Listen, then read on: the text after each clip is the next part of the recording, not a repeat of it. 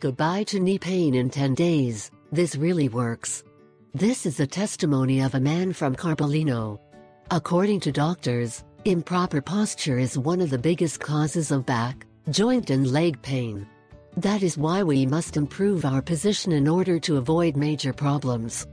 But, in addition to improving your posture, it is recommended to start consuming this incredible natural remedy that can strengthen joints, bones and knees and relieve pain.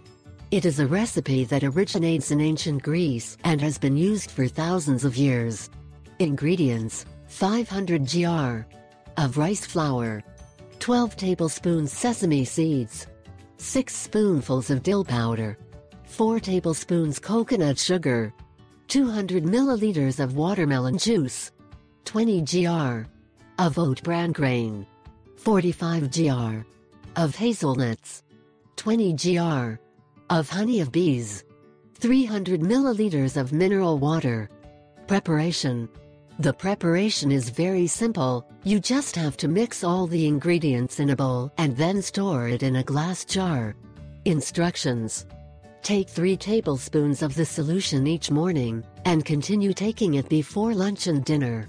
This ancient remedy will improve your metabolism, strengthen muscles and joints, and restore the elasticity of tendons and ligaments.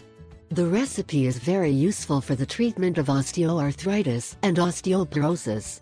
In addition to this remedy, you can also try using organic gelatin to relieve pain in joints, back and legs. I ask three favors. 1. Subscribe. 2. Share it with your friends and family. 3.